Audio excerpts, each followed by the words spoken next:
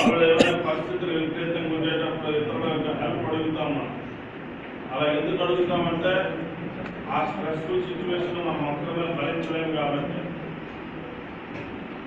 situations and stresses in their life that leaves them feeling emotionally physically overwhelm emotionally or physically overwhelm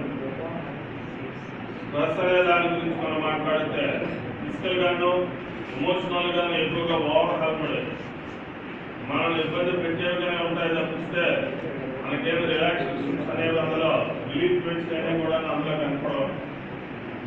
అందుకే ఎక్కువగా స్ట్రెస్ఫుల్స్ అనేవి over helm. అంటే మనం ఆలోచించకపోయినా మనం అత్యంత ఆలోచించేటట్టుగా చేస్తుంటాయి ఒకవేళ మనం వాటికి భయపడకపోతే ఆ భయపడే సిచ్యువేషన్ మనకి తీసుకొస్తుంది. so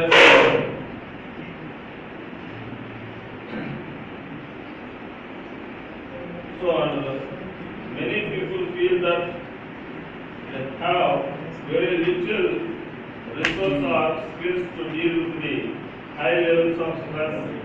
Their experience, their experience, that many people feel that they have